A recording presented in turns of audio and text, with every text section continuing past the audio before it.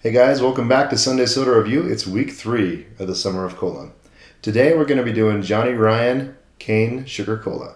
So stick around, it's going to be a lot of fun.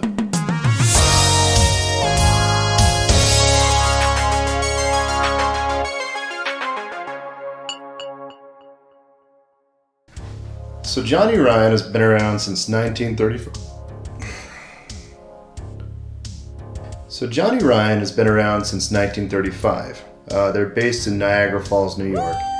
So they're one of those more East Side companies, like most of the ones we've been seeing here on this show. But one thing that I really like about Johnnie Ryan's, I love their bottle designs, especially like their cream soda or their ginger ale design.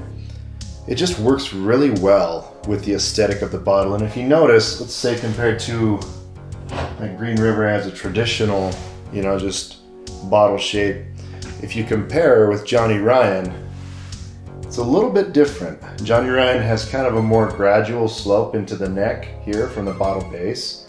And it just gives it kind of a more elegant appearance. And so for that reason, I really like the bottle design and the label design for Johnnie Ryan. Um, doesn't speak to the taste at all, but at least aesthetically it looks good. This is something that I probably would keep on a shelf as like a collected bottle if I end up liking it. So let's get into it and we're gonna see how Johnnie Ryan's cola tastes today.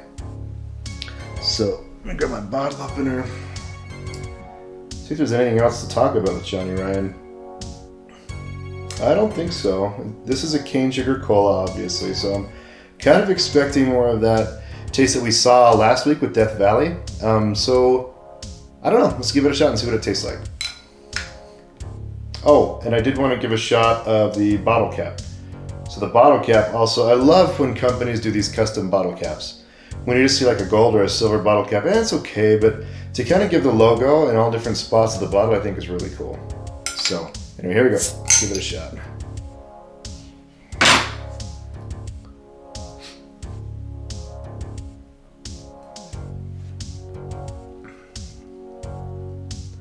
Wow, I really like this cola. Um, that's fantastic.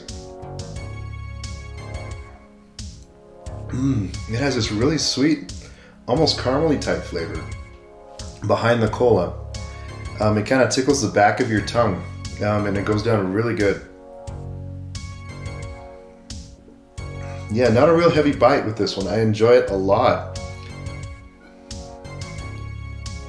First, you kind of have an upfront Bit of a caramel cola type taste, and it's very smooth going down, not terribly sweet, not over sweet, and a very pleasant aftertaste. I don't really have anything bad to say about this bottle, so or about this soda. So I'm gonna give this nine caps out of 10. Uh, this is the first time we've given a nine on this show, and I think Johnnie Ryan deserves it.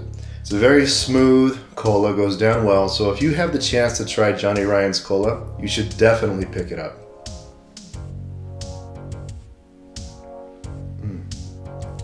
I'll be getting that again for sure.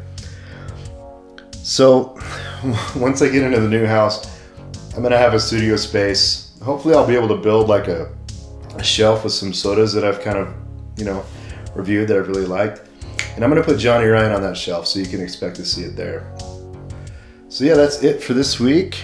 Uh, an excellent cola. Uh, very good for the summer of cola. Next week, we're going to be doing week four. I'm going to let you guys pick which one we do again, so watch Instagram. Um, yeah, and get out there and do your soda reviews. I still want to see those. So hashtag Sunday Soda Review, put it up on Instagram, and I'll feature it in one of my upcoming episodes. That's it for today, guys. Have a good week.